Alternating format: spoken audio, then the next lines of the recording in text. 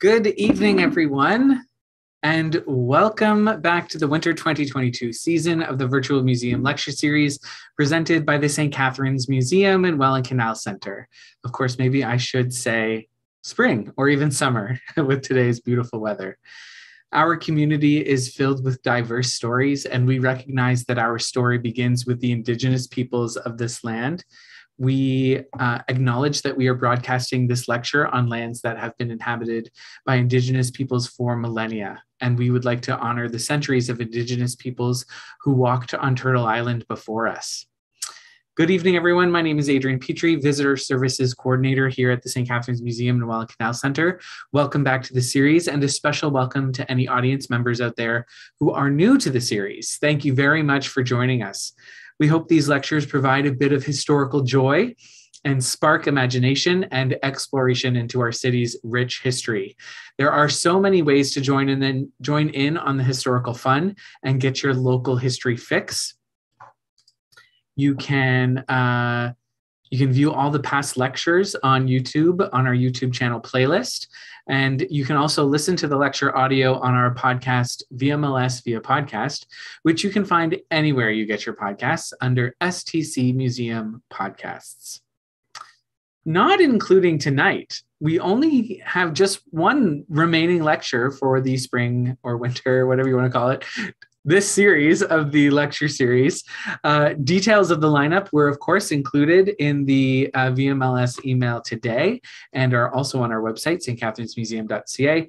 But we are want to note that we are thrilled to welcome uh, special guest Natasha Henry back to the lecture series uh, in two weeks' time on May 24th. Don't miss it. We are also very excited to announce the lineup for the autumn series of the lecture series, but you'll have to wait just a few more weeks to hear about the topics and the lecturers. For now, please mark your calendars for Tuesdays in the fall, September 20th, October 4th, 18th, uh, November 1st, 15th, and 29th, and December 13th. I'm really excited about the fall too. I know I'm always excited about all the lectures, um, but it's going to be a great lecture series in the fall. As always, please feel free to make use of the chat box uh, just to the right hand side of your screen if you're on a computer, might be below your screen if you're on a mobile device.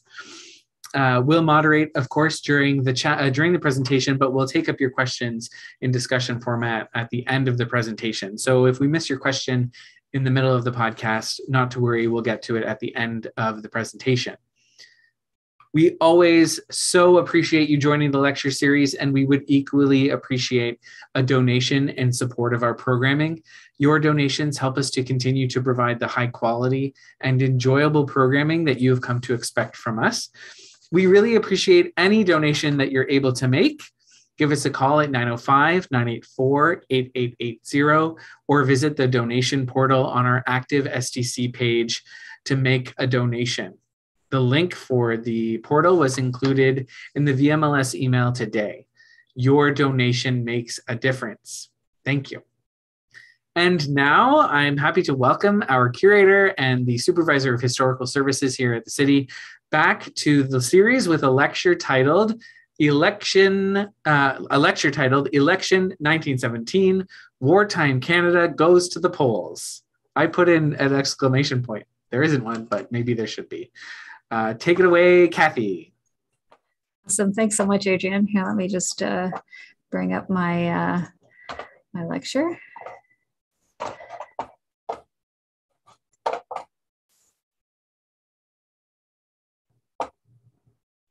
Okay, there we go.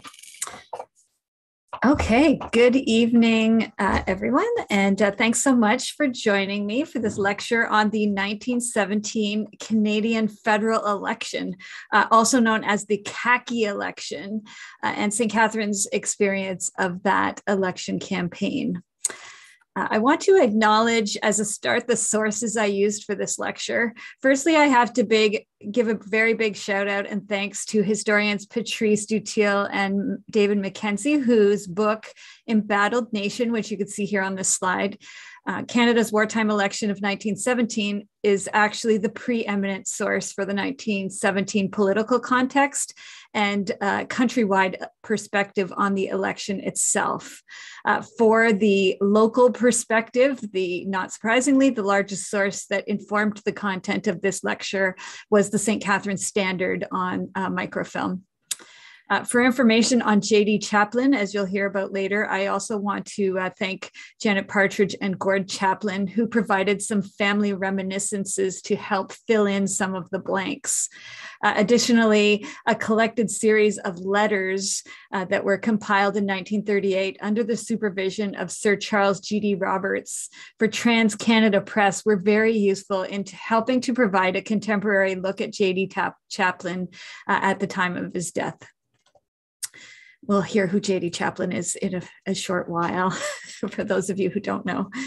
So let's uh, get started and let's set the stage for what was going on in Canada in 1917, uh, which would lead to one of Canada's most controversial federal elections. Uh, and to do that, I'm going to quote uh, Dutil and MacKenzie in their book. And I quote The 1917 election was fought at a time that is almost impossible to imagine today. The Bolshevik Revolution was unfolding in Russia, and it seemed as if the days of European royalty were coming to an end. Canada had already lost at least 40,000 soldiers by December of that year, and the epic Battle of Passchendaele, which brought tragedy to thousands of Canadian families, had been fought only weeks before the election. During the campaign itself, Halifax was almost completely destroyed by the explosion that, that was triggered by the collision of two ships in the harbor. Canada, more than any other time in its history, was an embattled nation, divided almost as much as the Europe it hoped to assist. The country was challenged physically, morally, and intellectually as never before. And it was in this context that Canadian voters were obliged to perform their democratic duty. While Canadian troops bravely marched in Europe, Canadian voters marched to the polls with a conviction that in this brave new world, their votes would make a difference and set the country on a better path to the future. End quote. The Canadian government under Robert Borden, throughout the first three years of the war, had already been forced to make very tough decisions in order to get the country successfully to the end. While Borden had maintained a position since the start of the war in 1914 that Canadian troops would not be conscripted into service, or that Canadian men would not be conscripted into service. By the end of 1916, it was clear that voluntary enlistment was drying up and that more men would be needed if the war was to be won. To that end, in January 1916, the government established a national service board to take stock of the manpower that was available in the country.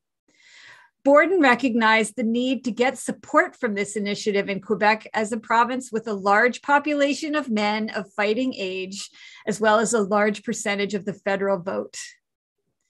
At the time, Borden also made overtures to Sir Wilfrid Laurier, who was the Liberal leader at the time uh, and leader of opposition, but he declined to support this registry. At the time that Borden brought in the National Service Board, he didn't expect to bring in conscription. Uh, the National Registry was not really a threat for compulsory service, uh, but for many of those who were outside of government, no matter what Borden said, they thought that this was just uh, the kind of the thin edge of the wedge and that it was just the precursor, and uh, that eventually they might get to, uh, to the idea of conscription being more popular. But still, in early 1916, uh, or sorry, yeah, early 1916, um, in January, conscription was still not on the radar. In March 1917, let's skip forward about a year or so, Borden actually traveled to England to attend the Imperial War Conference.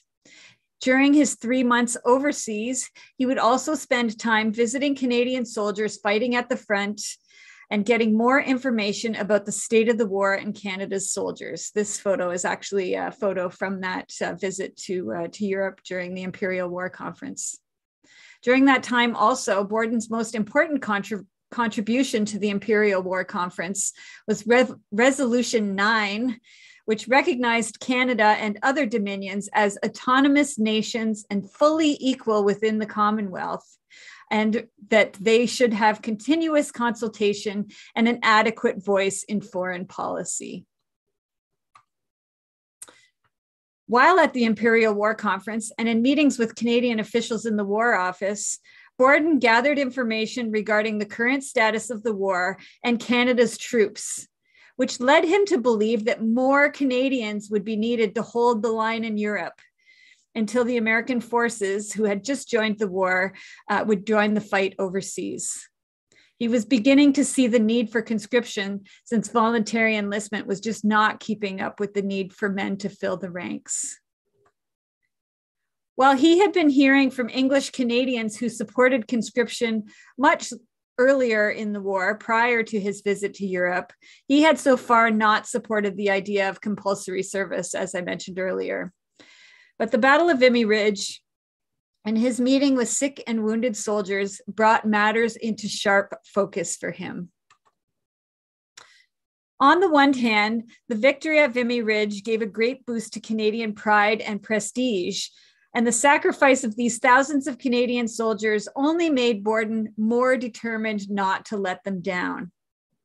On the other hand, the cost in lives was unbearable, and when compared to recent recruitment numbers, unsustainable. Casualty rates were far higher than new enlistments. When he arrived back in Canada, Borden informed his cabinet and the governor general that it was time to introduce compulsory military service. Borden said this on May 18, 1917, when he presented his intentions to in- introduce conscription. And I quote The Canadian Corps cannot be maintained without thorough provision for future requirements. Hitherto, we have depended on voluntary enlistment but it is apparent to me that the voluntary system will not yield further substantial results. All citizens are liable to military service for defense of their country. Therefore, it is my duty to announce to the House that early proposals will be made to provide, by compulsory military enlistment on a selective basis, such reinforcements as may be necessary to maintain the Canadian Army in the field. He went on to say that the number of men that may be needed will not be less than 50,000 and will probably be 100,000. Because the issue was so contentious, Borden felt it necessary to get Wilfrid Laurier's Liberal government on his side and proposed forming a coalition government that would be made up of members of both parties and would remain in power for the remainder of the war. Borden understood that conscription would need the full support across the country, including in Quebec, to keep the country from fracturing over the issue. This issue polarized the country. Ernest Lapointe, a Liberal member of Parliament for Kamouraska, called the conscription legislation brought forward by the Borden government the most important legislation since Confederation and noted that it would be unacceptable to Quebec since it was in a direct violation of all the pledges given by this government, this parliament, and all the public men of this country to the Canadian people. During the summer months of 1917, the St. Catharines Standard ran numerous stories related to conscription.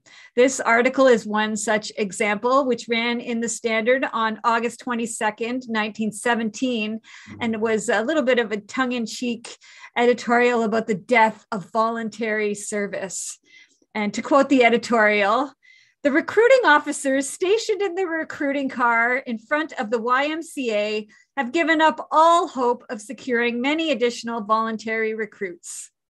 As a memorial to the old system, they painted their large signboard in front of the car black and on it tacked four pieces of paper, the contents of which attracted considerable attention throughout the day.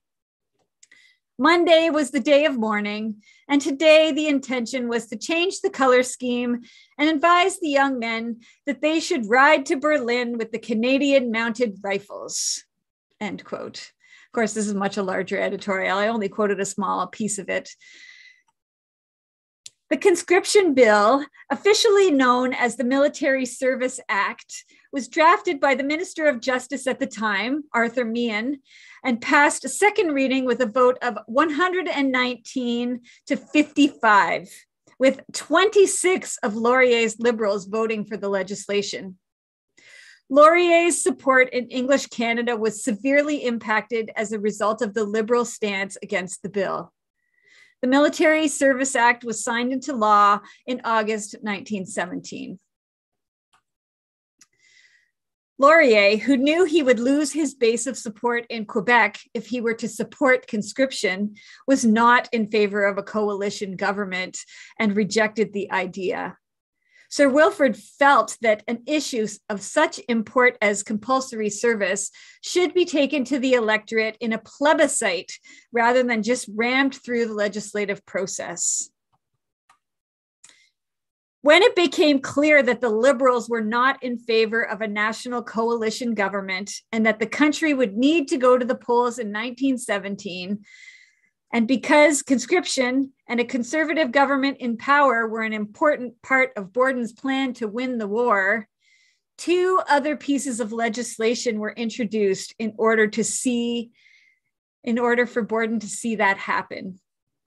These were the Military Voters Act and the Wartime Elections Act. I'm going to talk a little bit about each of these, not very much, but if you're interested to hear more about all of this legislation that happened uh, during the First World War, I would encourage you to go and uh, listen to my lecture uh, called When the World Changed, uh, or to watch my lecture or listen to it, uh, which you can find on our YouTube channel.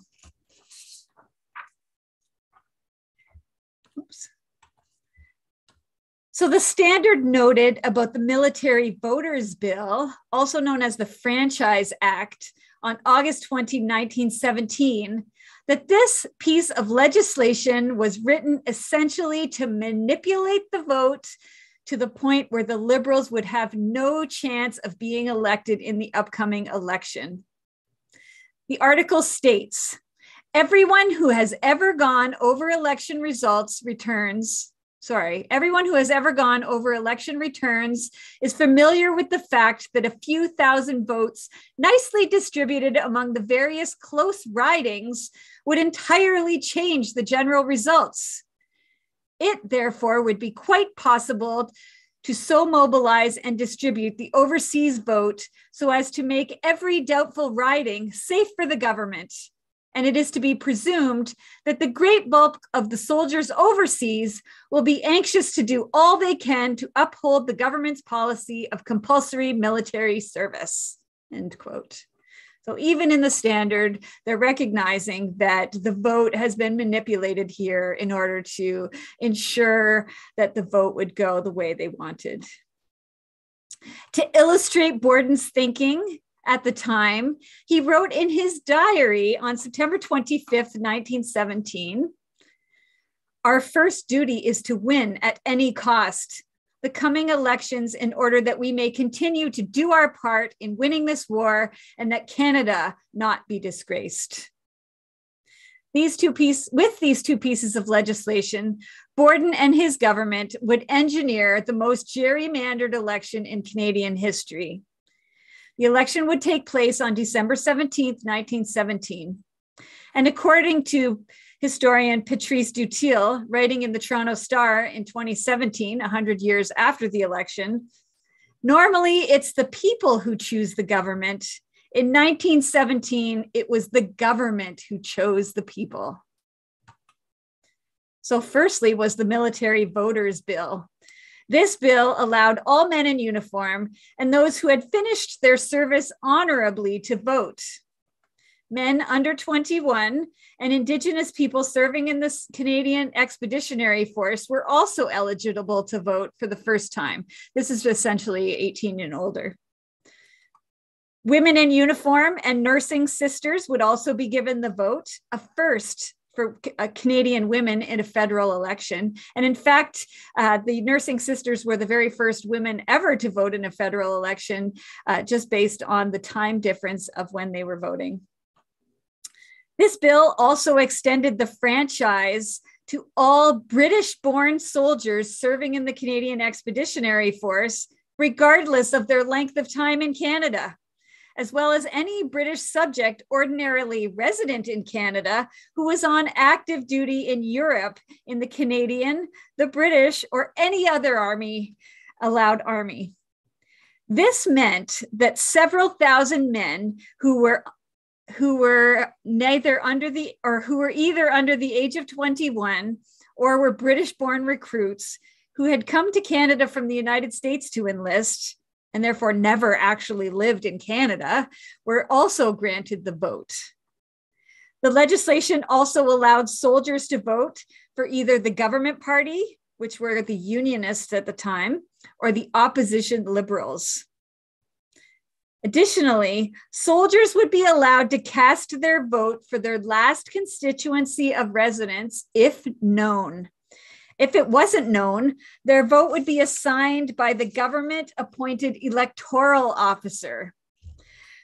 Prior to the 1917 election, the electoral officer was actually a provincial appointment, uh, but part of the legislation also made the electoral officers um, a federal appointment. Uh, and it was a political appointment. So it was really just a very thinly veiled voter manipulation. The bill contained a clause uh, directing also that overseas votes would not be counted for 31 days after the election.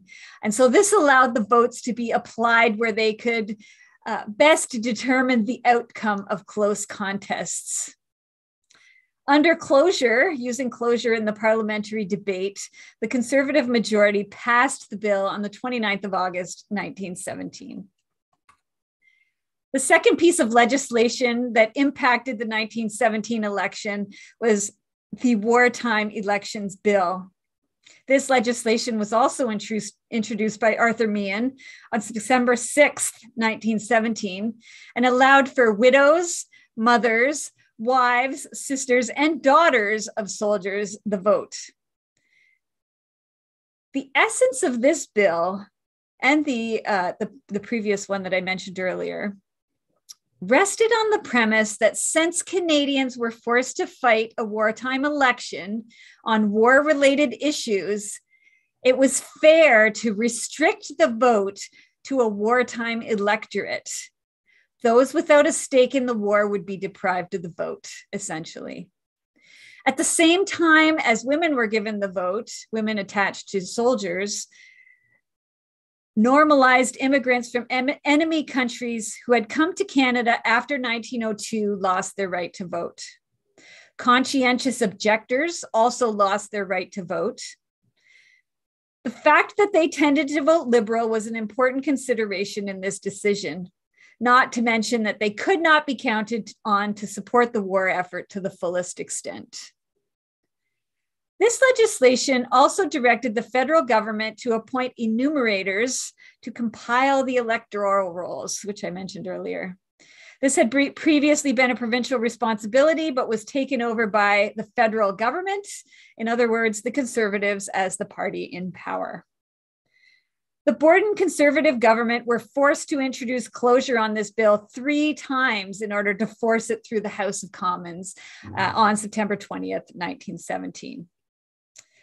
It's estimated that this gerrymandering of the vote gave the vote to around 450,000 women, while removing the vote from a, somewhere between 50 and 70,000 foreign born Canadians.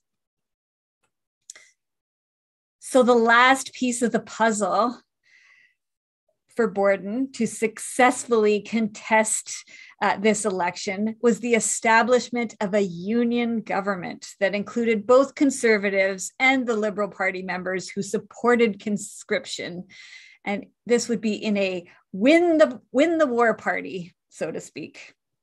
With this coalition in place, the main election issues, successfully fighting the war and conscription, would be addressed. Borden had previously been pressing Laurier to support this idea, but when Laurier chose not to do so, Borden and his supporters went ahead anyway and convinced several liberals to join the pro conscription Unionist Party in order to get to winning the war.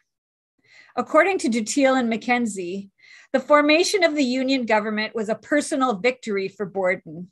He faced down resistance in his own party and ensured that his colleagues came along. He had secured his own leadership in the process, and he had demonstrated qualities of decisiveness, persistence, intelligence, and a shrewd understanding of human nature. His own position was untouchable.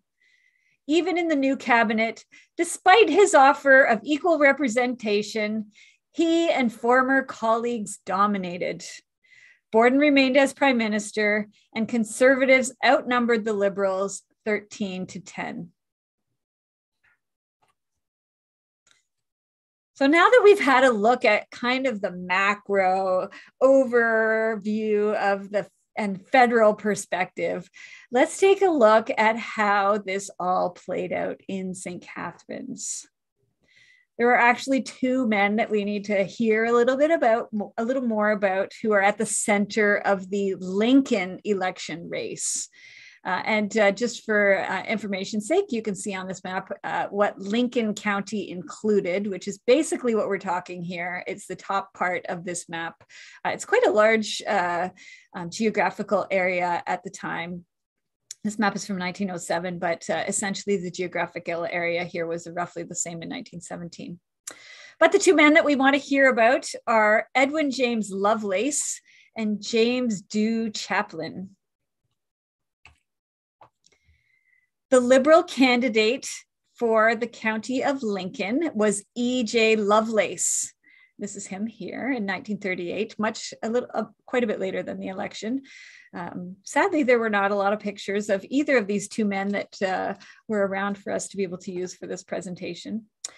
E.J. Lovelace was born on November 9th, 1866 in Essex County. And so in 1971, in 1917, at the time of the election, he was 51 years old. Uh, what we know about Lovelace is that he attended public schools in his youth and eventually eventually went into the printer's trade. He worked in a newspaper office uh, in his uh, older life and uh, or in his working life in the village of Comber and then in Petrolia and then later in St. Catharines. Uh, he was a publisher and editor at the St. Catharines Evening Journal and worked with a gent named J.M. Elson, who you can see is noted as the publisher here. This is an advertisement found in the 1917 um, Vernon's Directory. Uh, and uh, J.M. Elson was also the Liberal campaign manager in 1917. Uh, and so uh, you can uh, you could get kind of get a feel now for how these people are all connected together.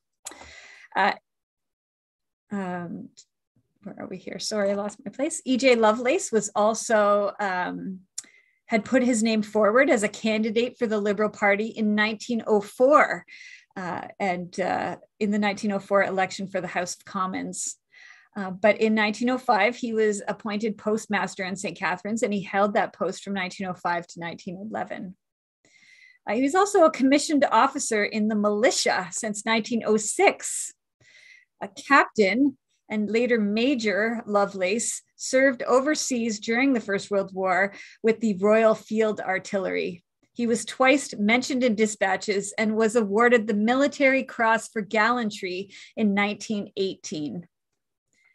During the entirety of the 1917 election campaign, Major Lovelace, he's captain at the time, was in Europe serving with the Canadian Expeditionary Force. Our Unionist candidate for the 1917 election for Lincoln was J.D. Chaplin. Here he is here. This picture is actually from 1917, uh, from the time of his election, of the election. Uh, James Dew Chaplin was born in Toronto, Canada West on March 20th, 1863. So he was 54 at the time of the election in 1917. I suppose their ages don't really matter very much, but although I do find it an interesting fact. Uh, he attended public schools in his youth and went to high school at the St. Catharines Collegiate Institute. He was tall and athletic and was a very proficient lacrosse player. Uh, Chaplin was a manufacturer in St. Catharines, and over the course of his business career, he was involved in quite a few manufacturing concerns, including the president of the Chaplin Wheel Company, Canada Axe and Harvest Tool Company, president of the Welland Vale Manufacturing Company, president of the Wallingford Manufacturing Company Limited, uh, president of the Chaplin Realty Company, director of JM Consolidated Gold Mines Limited, director of Hayes Wheel and Forgings Limited of Merritton and Chatham, who manufactured automobile parts, and was director of Canadian General Rubber Company of Galt. He had his fingers in a lot of pies. He was also uh, very well connected in St. Catharines and uh, uh, pretty well backed up financially. Uh, J.D. Chaplin also served four years on St. Catharines City Council, and that included as a chairman of the Finance Committee while he was on council. He was nominated as the conservative candidate in the riding of Lincoln in 1915 and was in that position in 1917 when the election was called. His first election as a candidate was in 1917, and he ran under Borden's Unionist banner, and in later elections returned as the Conservative Member of Parliament for Lincoln County until 1935. The fight for the seat in the riding of Lincoln was complicated from the start by the fact that Lovelace was the Liberal candidate. As a serving soldier, he was also in support of conscription, and his absence from the local scene had complicated his nomination. It's likely that had he been present, he would have actually stood as a liberal unionist candidate rather than as a, a traditional liberal candidate. There's debate on whether Lovelace should have been given the unionist nomination instead of J.D. Chaplin. Liberal Party sentiment on this matter was expressed by D.C. Hetherington in a letter to the editor of the Standard on December 3rd, 1917. Here's the letter to the editor here on the slide. And it says, Dear Sir, I have been much interested in reading your editorials on the political situation in this riding. I believe that the Unionist candidate should be Captain E.J. Lovelace. Unfortunately, through no fault of Captain Lovelace, his is not the endorsed candidate, and we have the disgrace of forcing a brave soldier who, for the past two years, has daily risked his life for us to enter into a contest with another gentleman when both are as one in, an, in opinion. Has it never occurred to you to suggest that it would be a graceful act and a compliment to all soldiers of our overseas army for Mr. Chaplin to withdraw and ask his supporters to vote for Captain Lovelace. I should not think of suggesting this had it been through any bungling or mistakes of Captain Lovelace that the present unfortunate state of affairs arose. Neither would I make the suggestion had not Mr. Chaplin stated that he was willing to give way if Captain Lovelace should announce himself as a supporter of the Unionist government. Captain Lovelace has given much for his country. Leaving out of consideration the daily hardships and dangers he himself has undergone, his only son is today a semi invalid, never likely to recover normal health the result of wounds and gas poisoning at the front. This alone would entitle him to the generous consideration of every citizen. That there has been a delay in securing a statement from Captain Lovelace as to his position cannot be denied, but the exigencies of a soldier's life frequently prevent his whereabouts being known at any particular time. If party politics and church affiliations are to be eliminated from this election, I know of no argument which could be used in favor of Mr. Chaplin's election, which could be used with equal force for the election of Captain Lovelace. I cast no reflections on Mr. Chaplin. His services to the country as a manufacturer of munitions great as they have been, are not to be compared with those of any soldier whose life itself is daily hazarded for his country's defense. Strong words from Mr. Hetherington. sorry, this is very small for you to be able to read it, but I'm going to quote, so don't worry, you don't need to be able to see it. But the editor of the paper does respond to this long, in a long editorial. The reason why I put this whole editorial up on the slide was so that you could see how long it was. It basically took up three pages or three columns in the newspaper, which is a lot of space. Um, and he the editor responded in the same paper. He didn't even wait for people to read the first one. Basically, he responded to the editorial, and then you had to flip through the paper and find the original letter to the editor. Uh, for a second I, here, I'm going to take a moment to uh, uh, to just digress a bit and comment on the source material that I was using here, as which was the St. Catharines Standard, as I mentioned earlier. The St. Catharines Standard was very clearly in support of the unionist candidate in this race. Uh, there's actually a bit of a shadow contest happening that you don't see uh, in the paper so much. Um, it's happening at the same time as the real election between the St. Catharines Standard and the St. Catharines Evening Journal.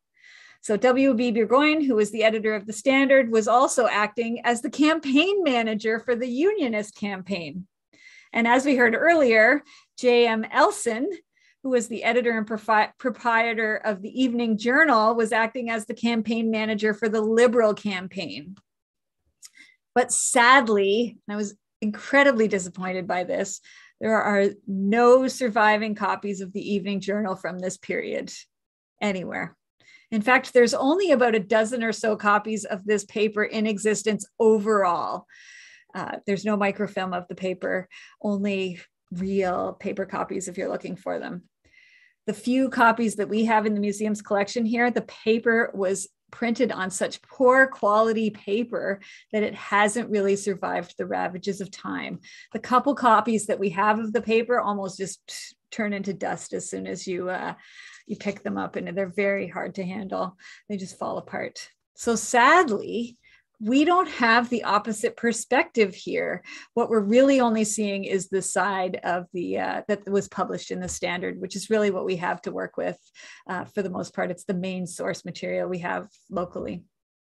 So let's go back and uh, and hear what the standards editor had in response to Hetherington's letter.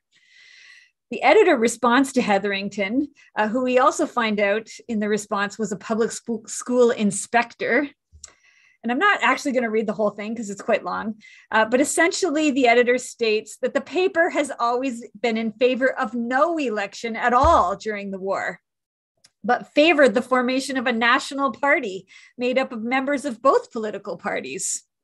He argues that the Friends of Lovelace were so obsessed with an idea of winning an election and giving Sir Wilfrid Laurier all the encouragement and support possible that Captain Lovelace's interests and the conscription principles he held so firmly were sacrificed on every hand. And here I quote Mr. Hetherington must now see that the situation has been completely changed. While it was Mr. Chaplin's privilege to be self sacrificing and magnanimous as he was while a candidate was being selected, it has now passed from his hands. He is now the chosen candidate of the Win the War electors and the designated candidate of the Union government. He could not honorably withdraw at this time from that position without the consent of those who nominated him. He goes on to say that the standard has no doubt, and we do not believe Mr. Hetherington has either, that were Captain Lovelace here and fully aware as he would be of the situation in all its bearing, he would withdraw from a candidacy which places him in a false and untenable position and he would be supporting Mr. Chaplin and all the Unionist candidates to the extent of his power and influence. It is too late to swap horses. We are crossing the stream. The standard has its pledge given in good faith to keep. Those who failed to bring Captain Lovelace's name before the Union government must bear the responsibility for his position today. And the only way to relieve him of that position is to withdraw him. Captain Lovelace now has before him at the front various requests from the Win the War liberal friends counseling such withdrawal.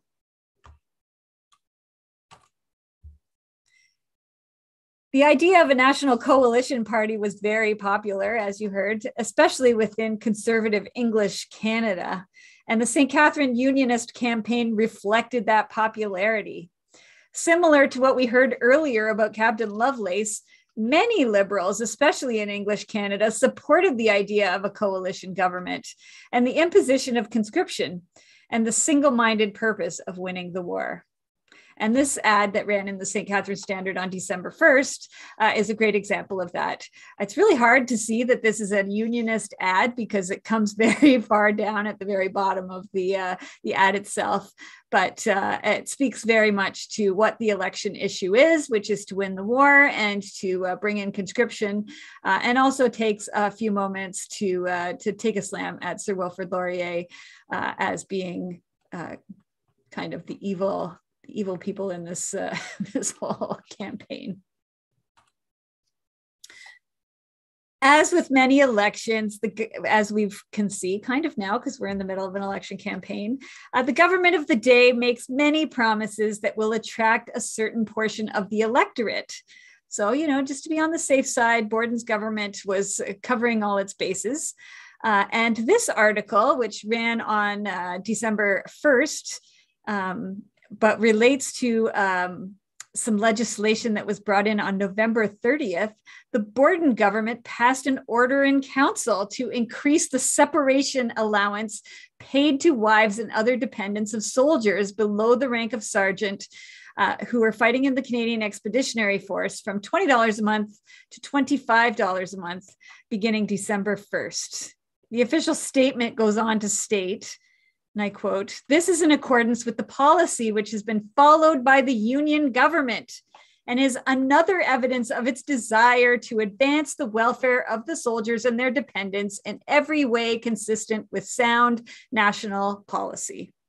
A short time ago, upon recommendation of the Minister of Finance, the government announced a substantial increase in the scale of pensions, and this action was received throughout the country with evidence of hearty approval this is a great example of legislative power uh, to add, uh, using legislative power to advocate for a very specific political party and political aim right in the middle of an election. So, of course, wives and family members who are going to be uh, the ones getting the extra $5 a month are going to think very strongly about uh, a party that is willing to do so and perhaps be concerned that should a different party come into power that this might be walked back.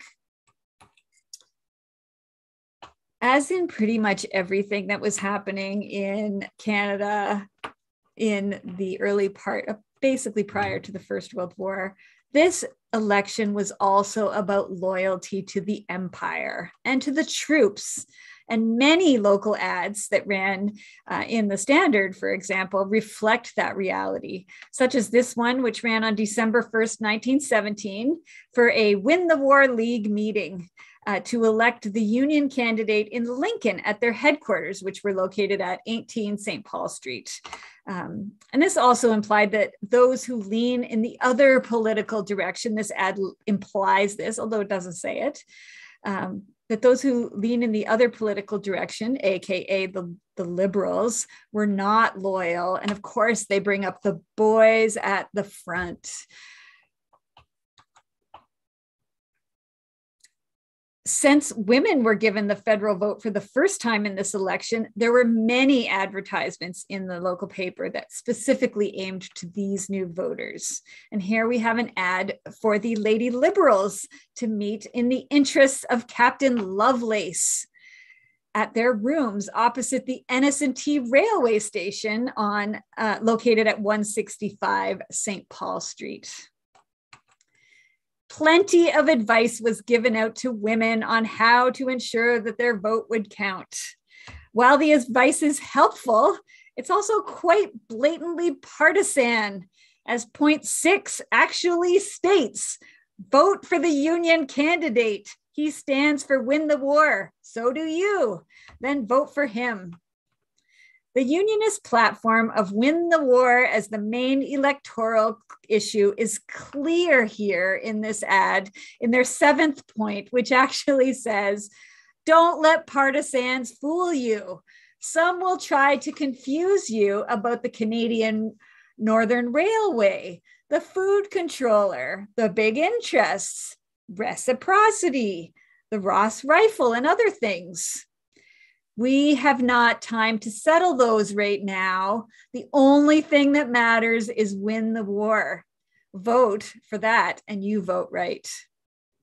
So essentially, they're telling women, because this is to you women who can vote, ignore all the scandals of the past few years that the conservative government was embroiled in and think only of how to win the war, which was to vote for conscription and the Union Party.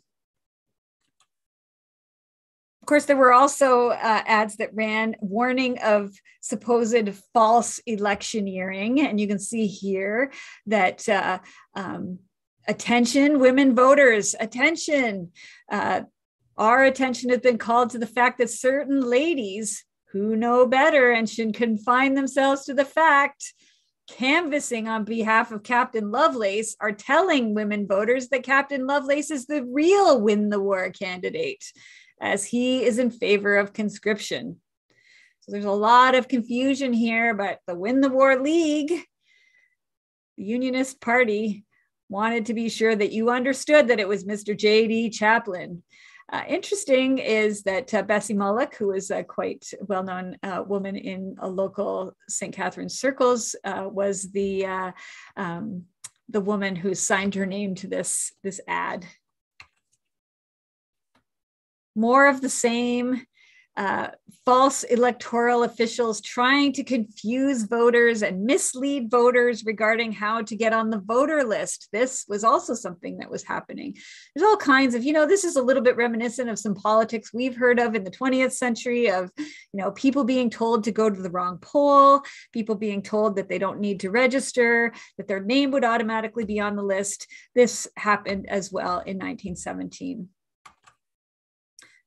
And as you can see here, more of the same warning of Laurier's tricksters passing themselves off as the only win the war candidate, uh, carrying out their nefarious campaign. Today, the wife of a soldier rec- residing on Western Hill made up her mind to vote for the Union government candidate who would vote uh, to send reinforcements to her husband. When she got to the poll, she was asked, Yes, I'm for union government, asked the soldiers, answered the soldier's wife. Then come and vote for Lovelace and get your husband home, was the Judas like plea of the agent of the enemies of union government. This is really dramatic language that they're using in here. And this is on election day. This, uh, this ad showed up in the paper even the Patriotic Fund had to step in and place an ad to remind people that it was nonpartisan and that people would not lose the monetary support they were getting from the Patriotic Fund if they supported one candidate over the other. We don't really hear where this is coming from, but we can only assume that one or the other uh, campaign was out there saying, if you vote for us, you'll lose your funding from the Patriotic Fund. Or if you vote for the other party, you'll lose your funding. All throughout the month of December uh, in 1917, the Standard ran numerous ads for meetings of both party associations uh, and, uh, and the meetings that they held in different locations. As you can see here, the Merritton Liberals Committee met in rooms in the rear of the shoe shop opposite the post office in Merritton. Um, but there were also uh, by far the Win the War League in support of Chaplin had the most funding, at least in the St. Catharines Standard. Like I said, we couldn't, we don't know what was running in the Evening Journal, um, but they were the ones who ran the most advertisements. And uh, here are just a bunch of examples of advertisements that ran um, basically for the different campaigns uh, in different areas. You can see that there were ward campaigns, there were campaigns in different parts of uh, the, um, the riding overall. Uh, there were people that came and spoke in mass meetings on behalf of um, of each of the candidates. So here you can see that uh, Gordon Waldron uh, from Toronto came to speak on behalf of Captain Lovelace because, of course, he wasn't here for the entirety of the campaign. But note in this ad that it says the real win the war candidate. It was very confusing. Uh, and uh, voters really had to keep their eye on uh, what the real issue was that, and who they were voting for throughout the campaign. Here's a couple more ads. This one actually ran, uh, I don't know if you recall, most people, if you get the standard, you recall there's a little section at the bottom of the front page on the very bottom below the fold uh, that has advertising space. This is one for the Chaplin government. Uh, the eyes of our hero at the front, the heroes at the front are upon you. Make sure you vote for Chaplin in the Union government. And then this one here, which is really interesting, how to mark your, va- your ballot. There's a whole pile of instruction on what to do on election day and put your X next to James Dew Chaplin's name while you're at it.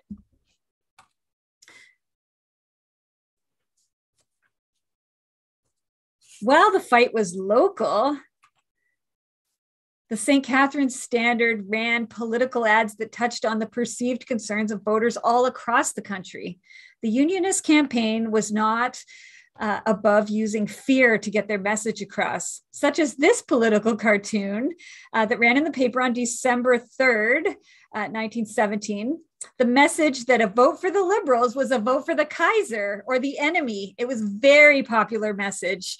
Uh, and several ads of a similar nature ran throughout the campaign, uh, such as this one that ran for, again, for J.D. Chaplin.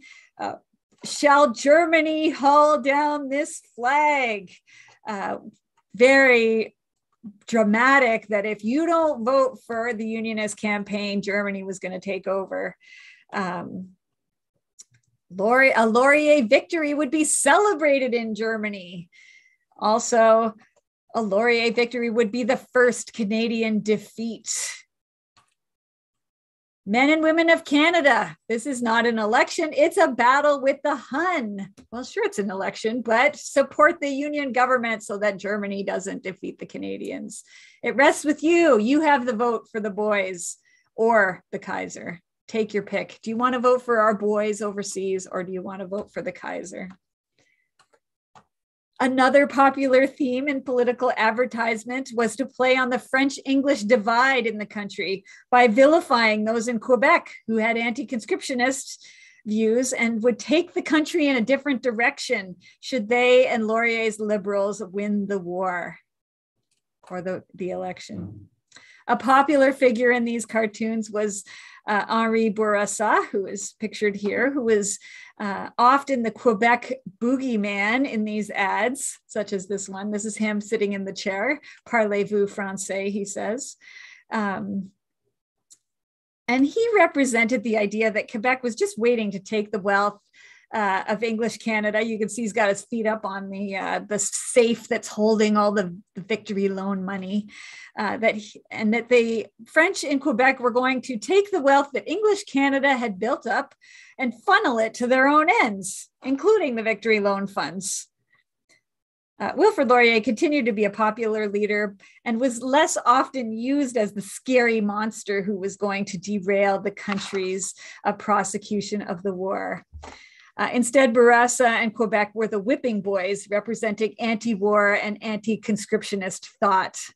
Henri Bourassa, in actual fact, saw all the maneuvering as an attempt to ram conscription through as the thin edge of the wedge of an illegitimate autocratic and military regime that was splitting the country, threatening social strife, and violating the principle of military autonomy that was adopted at the time of Confederation and he was not shy about speaking out against injustice as he saw it. Uh, but as you can see, this theme was a popular one with uh, anti liberal advertising throughout the campaign. Uh, as you can see here, these all ran in the standard in the weeks following up to the election. And you can see at the bottom, they were run by the Citizens Union Committee. They must have had a fairly large uh, wallet to be able to spend on advertising, but because by far they took up more space than anything else uh, in the newspaper when it came to the election. So Quebec must not rule Canada. Um, your duty to Canada and the British Empire. is to ascertain the name of the endorsed union government candidate, candidate and vote for him. A solid Quebec will vote to rule all Canada. Only a solid Ontario can defeat them. Also, a solid Quebec will vote to rule all Canada. Only a solid Ontario can defeat them, like this political cartoon shows with solid Quebec standing, Bourassa standing on top of a concrete block. Uh, um, and what would happen if uh, if the liberals were to win this uh, this election campaign political cartoon has always been very influential in uh, election campaigns throughout all of Canada's history. And uh, uh, if you're really interested, I encourage you to uh, to look further into political cartoon over the years. It's it's a very interesting topic. In 1917, religion played a much larger role in the political life of a community. The influence of the church on voters could be significant, and all major political parties sought the support of the church in their cause. This wasn't any different in St. Catharines, where ministers spoke from the pulpit in support of their cause. And the paper even uh, put articles in the paper basically saying what was being said in the, uh, the church. In this slide, Reverend R.D. Hamilton of Welland Avenue Church riffed on the Quebec theme as a villain, or ripped on the Quebec as a villain theme, as he expressed thanks that Quebec, in their statement that they have done enough, does not voice the opinion of the people of Canada, who are in the fight to to stay. Sorry, I had a, a, typo here. I couldn't figure out what my typo said. We're in the fight to stay, and who will see that reinforcements, the call for which is on the lips of every dying hero, are sent to the aid of those who have gone from this dominion to fill the gaps left by the brave boys who have fallen. Along this line, the speaker also made an appeal that the people stand by the boys when they vote to cast their vote for a union government which will succor the boys at the front. On the lips of the dying soldiers, we have to vote unionist, according to this, this uh, Reverend Hamilton. Should you think that this was an isolated instance? This article speaks to the sermon given by Reverend F.W. Stewart of the Baptist Church, who spoke on the hypocrites in the church. The hypocrite, he says, is an actor, one assuming a better part of virtue or religion for the sake of name advantage to be gained. He goes on to say the hypocrite was then compared with those who gladly make use of Canadian citizenship with all of its advantages to cover enemy sympathy and support. Mr. Stewart said this morning, when asked by a representative of the Standard, that he would very gladly make further application to the comparison to those who, at this momentous crisis in the life of Canada, failed to give to the utmost support to the program to put the whole life and strength of our country into one common united effort to bring victory to our cause.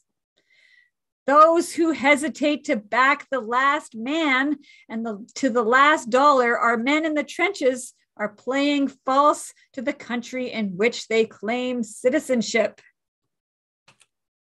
Even on the eve of Election Day, the St. Paul Street Methodist minister, Reverend Sanford E. Marshall, asked his congregation to be wisely guided in depositing their ballots today. The issue at stake is too great to be allowed to go without serious thought, and party feeling should be forgotten and lost when the issue of country is in such a serious condition. When so many of the sons of our empire are fighting and giving their life's blood, reinforcements should be sent at once. Waiting for a referendum might be very serious, for it is evident that in the near future, a decisive battle will be fought on the Western Front, and without men to take the places of those wounded, Canada will be put in a class with Russia. So, of course, as we know, it was great news that the uh, that um, soldiers were going to be casting their votes And the newspaper ran a story about the ballot boxes being taken to the front. That's what this story is. This is just a little part of it. I didn't put the entire uh, story here because the interesting thing to me is the headline, which is quite inflammatory because they're saying it's the votes of the wounded and dying that you're supporting if you vote for the unionist campaign, essentially. You can see from this picture not all the soldiers at the time of the election were wounded and dying, uh, which is so it's not 100% correct to make that be the headline, but it's definitely very heart wrenching and it's supposed to really make you think about making sure you support those soldiers at the front. Of course, not to be left out of this whole campaign in the paper were those at the front who were given their say in the publication of their letters to the editor, published in the paper throughout the campaign. As you can see here, as an example, was from Sergeant Richard Kearney, who writes, vote for conscription, exclamation mark. If you only knew how things were here, you would. Similarly, this letter of which I have shown just an excerpt, it was quite a bit longer, uh, is by Private Fred Sexton, who says, I'm glad to hear that conscription is a sure thing in Canada at last. There is plenty of need for it. This is just a small example. There were actually quite a few more letters that were uh, uh, were run in the paper at this time from uh, soldiers. Or my, but if I had ran them all, my lecture would be really long, and I'm sure we would lose quite a bit of the audience partway through. So election day arrived on December 17th, 1917, and the newspaper ran extra editions on that day uh, to keep the electorate up to date on the race. Uh, they also kept a running tally on the bulletin board at the standard office of the election returns. This election saw enormous community support, especially from women organizers who, unsurprisingly, jumped in with great enthusiasm in support of the franchise on both sides of the debate. As quoted here, to the ladies, great credit should be given. They have entered a new field with great energy and are showing the men how to accomplish results.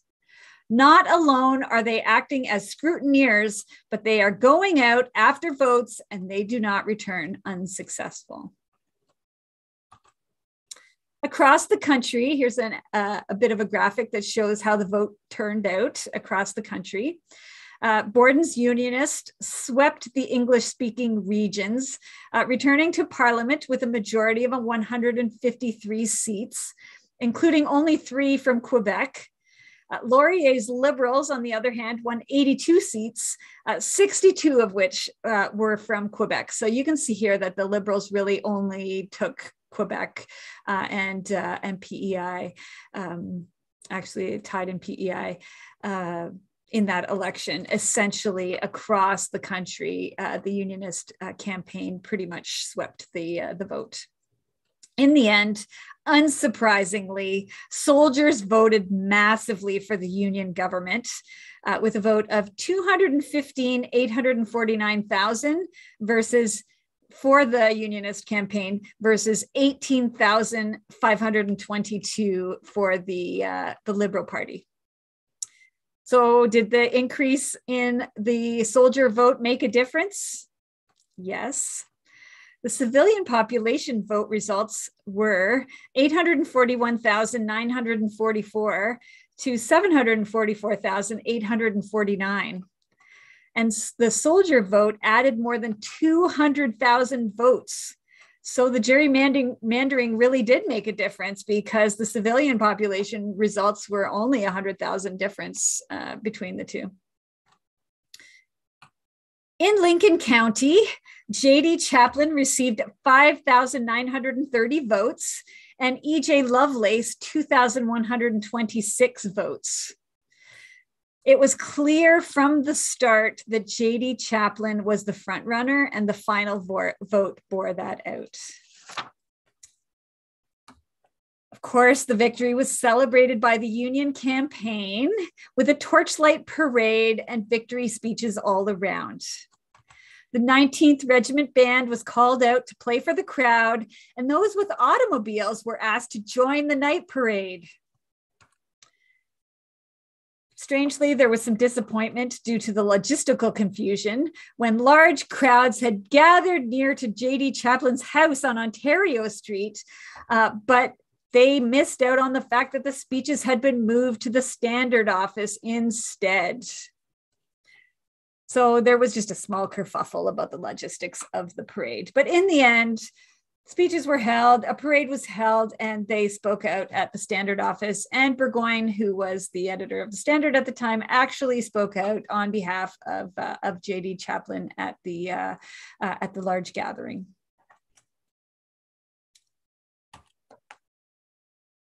So before we move on from here, what of conscription and its lasting impacts?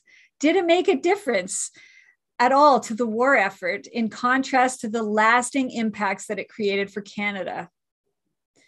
Of the 401,000 men who were called up for service through conscription, 99,651 were on strength with the Canadian Expeditionary Force on November 11, 1918, when the war ended. Of those, only 47,500 had proceeded overseas, and only 24,132 had actually been taken up on strength in units in France uh, and were shoring up the ragged Canadian infantry battalions by the last months of the war. So, really, only a small amount of the conscripted soldiers, a quarter basically, made it overseas to the war by the time war ended. But we really need to remember here that in 1916 and 1917, when conscription was the, the real uh, debated issue at the time, that almost all the generals and politicians expected that the war would continue far into 1919 and that the need for conscripts would have been much greater uh, had the war done so. And so to conclude, I will quote historians Dutil and MacKenzie, kind of as a bookend to this presentation. And I quote, there was still a war to be fought, and Canada's war effort remained the Borden government's main concern. Laurier may not have gotten his plebiscite, but the election vote was seen as the closest thing possible to a national referendum on conscription. And the verdict of the Canadian people was clear. The Union's success was a victory for conscription and the war effort. Canada's war effort would not be allowed to falter. They go on to conclude that the election of 1917 was fought on the issue of conscription, but it was decided on the basis of identity. Never has an election so divided the country. Never before or after did the country come so close to the brink of destruction. Politics was different after this election.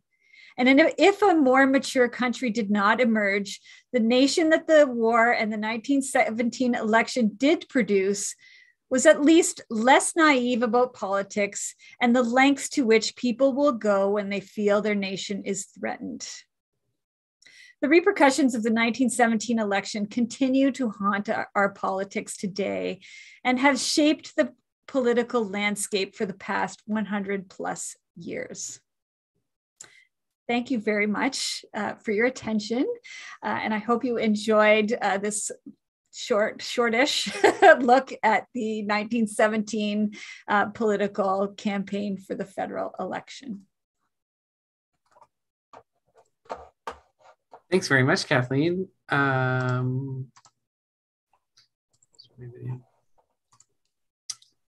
uh, while we have some questions, I think I'm in the wrong place in my slides the right place. Oh, no, I was in the right place. Okay, great. Thanks very much, Kathleen. Uh, while we wait for a few more questions, there's a couple comments, and I've got some comments too, I'm sure. If anybody has any comments or questions, feel free, go ahead and pop them in the chat box. Uh, that was super interesting. Uh, especially for a political junkie like me.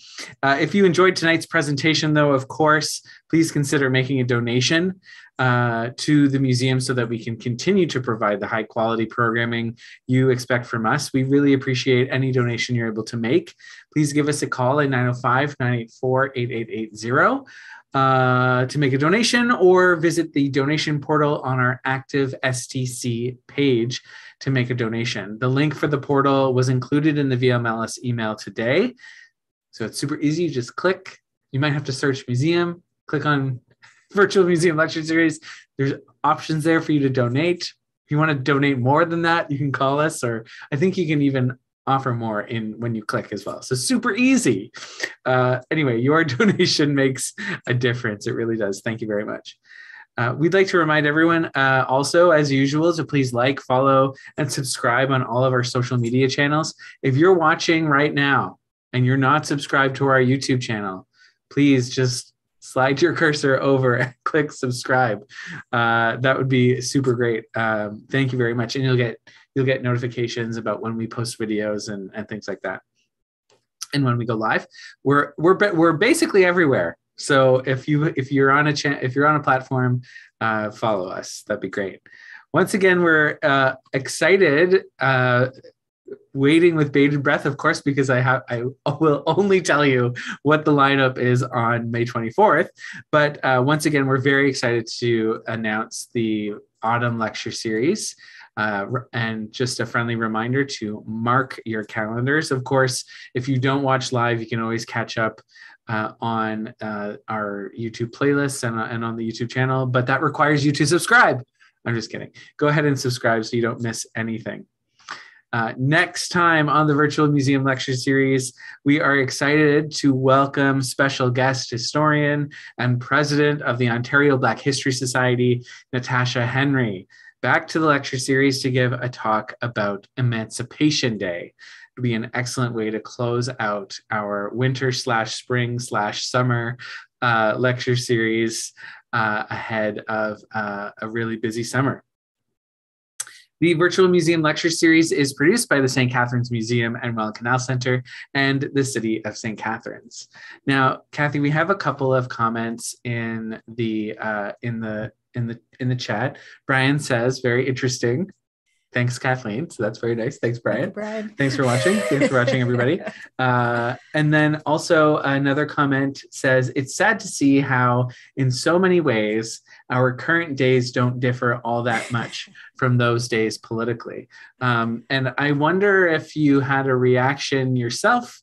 Oh, so our reaction is based on seeing all of that content in 60 minutes what was your reaction over a slow burn? Because you've been researching for months and months and months sitting at the microfilm. Um, did was there a point where you said was it right away or did it take time for you to sort of say oh gosh especially because you were researching during the last federal election?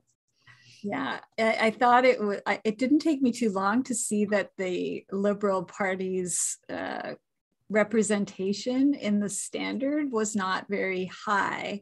Uh, but then I especially made that connection when I made the connection between uh, Burgoyne and the unionist uh, campaign, and then Elson and the liberal campaign, it was clear that that connection was there. And then I I scoured the world, I guess, well, maybe not the world, but as much of the world as I could get to uh, from my perspective of uh, to find a, at least even one copy of the mm-hmm. evening journal from this period. And uh, I appreciate Brian's comment because I did ask him as well whether he had ever seen a copy uh, of this paper from that period uh, just to see what was there on the other side. Uh, I personally wasn't surprised about the partisanship of Canadian uh, newspapers in the period because Canadian newspapers have been incredibly partisan basically since prior to Confederation. Uh, so that didn't surprise me in any way at all. Right. Yeah. Uh, but I was very disappointed that I couldn't really give you both sides of the, the view because we only had the one paper. Uh, it would be almost like if all of a sudden all news uh, disappeared except for false Fox News, and then today, and then you, that would be the only thing that you would see. Uh, so um, it was kind of an interesting parallel to what we see today. A lot of people think that newspapers are and the news media are nonpartisan and that they're supposed to be nonpartisan, but that has never been the case in Canadian history. Uh, our media has always been partisan in some way or other, and they're sometimes political um, candidates or people who are in political power owned the paper. And so uh, it's it's it's not a surprise to me. I, and i find it super interesting about uh, about how they they go about getting that message out in a sneaky sort of way to make themselves look like they're not being partisan but they really are. Absolutely. I thought it was uh, it was really interesting that they published the um, i guess you could find this information online by returning by by poll i guess by returning center um, but that they published by municipality. We don't. You, I don't. I don't remember seeing that normal that kind of chart normally, but published by municipality, the uh, the um, the the the numbers, the the votes, and it made me think just briefly. I wonder if we compared the election results to the subscriptions of both papers, if they would be somewhat similar, because how many people would be reading two papers a day or regularly enough to keep up with that kind of debate. So if you're a standard voter and that's the only news source that you have, similar to you know some folks who only watch one particular type of news uh you you know you mentioned fox news or uh, on the other side cnn or whatever yeah, yeah. uh you know uh how many people would be thinking about the opposite perspective um, so there's there's the role of the media certainly hasn't changed. The partisanship might have a different flavor, uh, especially maybe before the most recent, like between then and now, didn't seem to be so. Uh, like um, the world will end if you vote a certain way uh, until the most recent election and i think that's perhaps why uh, folks watching might have identified some parallels really easily because there were similar messages from various uh, campaigns and media outlets in the last few elections, it, both American, Canadian, British, whatever, that if you vote a certain way, the world will end. Um, so. The interesting thing about that is that you know that that you're talking about how they they gave the election results by municipality. I actually cut off a part of that that bit that was there and it actually gave the election results by polling station oh, okay and some of the polling stations were literally people's houses. Yeah. So like you were coming, like if you were in this section of the city, you came in the side door at like John's house. And if you came in, like if you were this part of the city, these streets, you came into the front door at this guy's house. And that was where your polling station was. And so like it even got down to the micro of like 50 votes went to this thing in this riding and you could almost pick out who had voted for who based on that uh, that how close the detail was uh, because the vote was under 10,000 votes in in Lincoln essentially mm-hmm. uh, overall it's a, it's a fairly small electorate I think we do forget about that that part of things as well but uh, one thing I don't think I mentioned in my even back then it was yeah. much small like we're talking much smaller electorate than today, even with right? the added voters even with added um, added or yeah. added vote uh, vote i don't know where to put my air quotes but added voters yeah uh, but i didn't mention it in my um, uh, my talk and i should have actually but this election in 1917 is the election that saw the highest percentage of voters in canadian history. I was actually going to ask yeah. if that this was the this is the big turnout election. Yeah, yeah. i think it was like 87 percent of the election wow that election. It was 87 percent. quite quite high yeah. Wow. So i guess that was going to be that was going to be my next question. And to follow up with that was sometimes we hear elections as a status quo uh, labeled as a status quo election or a change election. Um, we don't often hear about a crisis election. Uh, would you you would uh, identify that this election as a crisis election is that is that right? Yeah, for sure. And I mean, just the fact that some of the advertisements said, forget about all the things that happened before. The only yes. thing that counts is conscription and winning the war. So and that, so, yeah. so having just lived through a crisis election, uh, because Yeah. that was the message. Yeah, exactly. Uh, yeah. Okay. Great. That's it's really very similar. And in fact, even some of the the Laurier liberals that joined the Union Party said at the time that they only vote they only joined the party for the wartime.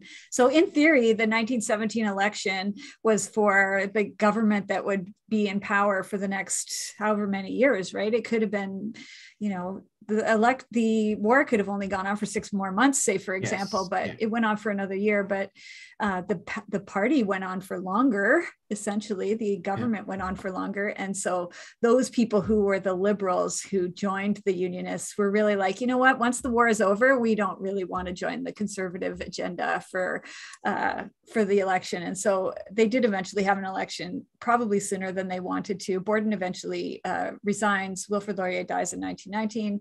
So you know the whole political landscape changes after the war yes. and those people who were only there because of that one issue because they supported conscription which is basically what lovelace was all about he was Mhm. really only supporting conscription on the unionist side uh, but as a liberal he couldn't he couldn't really say that like he wanted to be the conscription side but only for that issue. And so those people all decided to kind of distance themselves after that. They weren't going to support borden's agenda after that. And that I think point number seven in that list of how to vote was uh, so fu- so ironic, I guess, because the uh, it's like ignore all the partisan fools yeah. who tell you that what like hey that's partisan as i'm being partisan isn't that funny I love that Uh, they even enumerated all the scandals that they'd had. yeah Just ignore Right. all these things. These things in particular, all these scandals, ignore those. We're just going to. there's something about the, yeah there's something about that kind of bold-faced honesty that i prefer to sort of the more sneaky types of uh, advertising and you know that kind of thing. Uh, that sometimes we're used to hearing the the more tricky i'm not sure where this person stands. Anyway uh, brian also has another comment about uh, uh, an idea anyway about um, where to find stuff from the evening journal. Uh, he says i wonder if other papers carried stories from the journal maybe the globe or the spectator uh, to see the other side of the story Yeah, um, they may have. That's true. it's an idea but Yeah. you already spend hours and hours and hours and hours going through the standard um, that sounds like a project for another time It's possible. I mean, some of those newspapers, thankfully, are searchable online. Like I know that Oh, uh, the Standard is not searchable that way, but uh, some newspapers actually are searchable by keyword. And if I could potentially give that a try, uh, that's a good point, Brian. I'll have to give it a try because I'm actually kind of interested now because this th- this whole missing of an entire side of of news media in St. Catharines for that entire period is really unfortunate. Uh, we I think most people just think the standard was the only thing because there there is no copies. There are only a dozen copies or so of the evening journal from like they were around for years. Yeah. Their readers were less nostalgic i guess about hanging on to copies than the They just fell apart. The copies that we fell. have of the paper, when you go to, to handle them, they literally just. yeah cheaper print. Anywho uh, that's great idea brian. Thank you very much. Uh, and thank you everyone. Uh, and thank you kathy for your wonderful lecture. Very uh, Thanks, very interesting. Um, I, think I think it's given everyone on the lecture and who watches in the future a lot to think about a lot to remember uh, as we head to the polls here in ontario but also uh, uh, locally the municipal election is coming up. Uh, and also just generally as like you know in the media today there's a lot of discussion about where information comes from and how information is disseminated and and what's partisan and what's not. So lots to think about lots to remember. Um, thanks very much. And thanks everyone for watching.